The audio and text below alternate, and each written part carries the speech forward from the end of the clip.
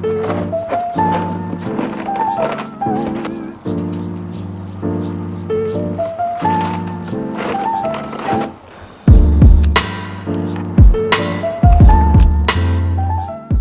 you hate paying full price for software? Well, this video sponsor has you covered.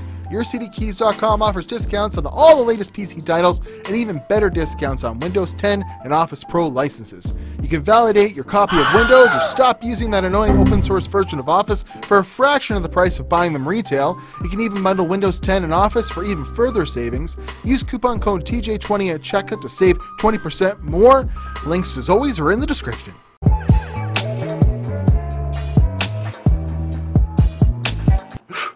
See, I have a problem, a real problem. Appreciate your, uh, you know, niceness about the audio quality because I'm just running off the camera. But when I see numbers like this during the day, I get cold a little bit. But then I think, how can we do a computer? How can we do a computer? Okay, so I'll take you in a little journey. What is with this? See, I have a problem. I have a I don't know what it is, but when I see minus 21 outside, when I see that, I don't think burr. I think, how can I overclock a computer with this temperature? Oh, minus 21 degrees, right? Oh, so the wires are running out the window. I got the Elgato capturing it down here. That wire is a switch. There's outside, okay? The computer's sitting right here. You can't see it though. I wish I thought it would be cool if you could see it, but what do you do? Here's the Elgato software. And will it turn on? I'm gonna think it did. I just saw the lights flicker a bit. And we'll know in about 10 seconds whether the computer turned on that's been outside for about 25 minutes now at minus 21 had made it through to the test bench in where I've got set up a capturing station so we can overclock the dickens out of a minus 20 computer. But we're kind of blind and this thing takes forever to post. So we'll see if it works. I'm worried that it's not going to and that I'm going to break something and then I'm going to get in trouble because that's not my computer. Might have to buy it. Yes! oh no, wrong. Did we make it in the BIOS? Yes, we did. so we have, I should have changed the memory frequency. Damn it. Should have took some memory out of it. Oh well. So this is the 16 core uh, 2950X Threadripper with 64 gigs of RAM in it that I couldn't overclock very far before. And I'm wondering, motherboard minus 11, CPU temperature plus 3. so we're going to try and overclock the dickens out of this, the 4.4 gigahertz. CPU, I went into DIGI power controls, I wanted to set load line calibration level 7. CPU current capability, 120. Alright. VD sock line calibration, level 8.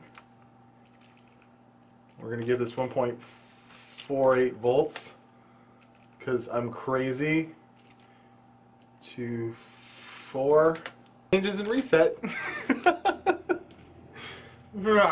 Alright, I'm cold. Let's check uh, 4.3 gigahertz. No problems. What's the temperatures at? Where's the package temperature? eight, seven. Let's see if we can't run Cinebench at this load. 45 degree package temperature. it didn't work. Oh, it did! 3,000. so I already broke my 3,500 record by like a good decent amount. Cinebench, set priority, real time. Heck yes and we're back down to minus six, or uh, sorry, four, three, two, one on the package. there we go. All right. Let's see. Will this complete?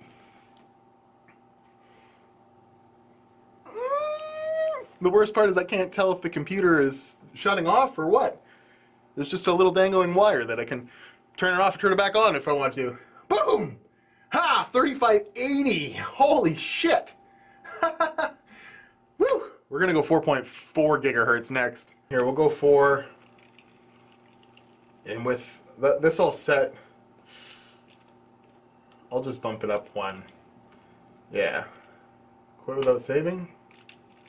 No, we definitely want to save. Save changes and reset. Temperature. 10, 9, 8. CPU. Oh man, a package temperature of 4650. This is going to work. it's going to work. Oh man, we just ran Cinebench at 436. Holy shit, this is awesome. It's going to go further. Get the main course here.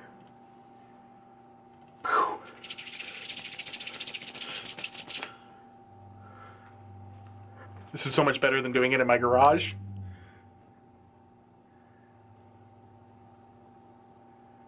Thirty-six sixty-seven. Oh man, and it looks like it's not even skipping a beat. This is so cool.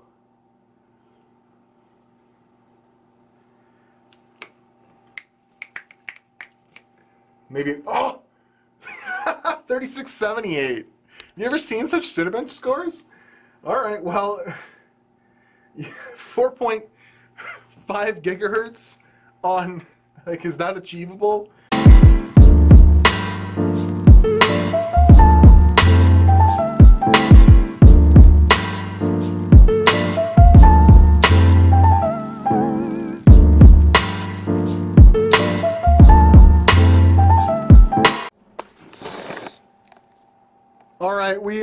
4.4 gigahertz, and all I could do was I did a BIOS update, removed four of the DIMMs. I got the memory running at 2830 something, I believe. Um, it's just crap memory. It would be much faster if I could get some 3200 speed or something in there, because uh, it's only CL 8 or 16 or whatever. So, but what do you got? You got to work with what you got, right? And we've already done a Cinebench pull at 4.4 gigahertz, and it worked.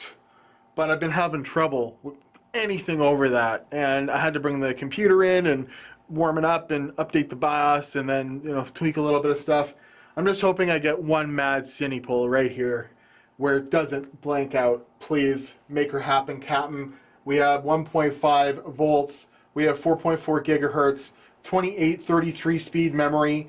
Oh my god, it's gonna finish 3657. All right, 3657. That's probably our best yet. I don't know if that we did a little bit better earlier, but I would imagine that's uh, the best we've done so far. So if we do this, set priority real time, will it run again? Uh, I want to, oh, I want that speed, that, yeah, we're going to say, actually just do this. Oh man, this is so cool. Let's look at the temperatures and stuff too. Oh, oh. Task Manager will set the details of the Cinebench to priority real time. Yeah, close this. Right now we've got two, two, two, eight, six, and nine on the package nodes. Bitches benign, six and nine, three degrees. We're ready, brah. We're ready. You ready? I'm ready for a maximum 3,700. It's not going to happen, but I'm imagining it won't even finish, but we'll cross our fingies. We'll cross our fingies. Ah, really? Really? It didn't finish. 36.57. That's as far as we got. 36.57. I don't know. There might have been a better one when I ran it in real time, uh, 4.4 before I tweaked all the RAM and stuff. But this is the kind of content you get here at Timmy Joe's Palace of Wonderland and Icy Crystals. And uh, we're going to be overclocking as long as it's minus 20 outside, just all kinds of computer hardware. Maybe some old stuff, which would make a hell of a lot more sense than a borrowed Threadripper $3,000 computer. But, man, I gotta thank y'all for coming by Mount Watch Timmy Joe Instagram and Twitter. I have a Patreon and I'm going to CES and all this good stuff. Um, you know, just to mention all that stuff, thanks to sponsors. But today on the program, I was to review the cooler that was on the Threadripper so I could get that out of the way.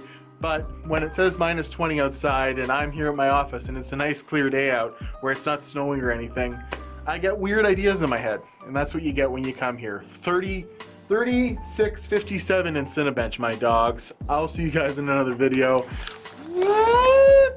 Have a good day.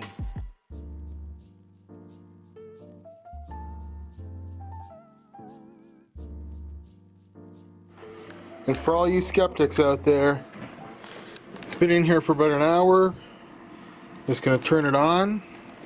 VGA code. Oh!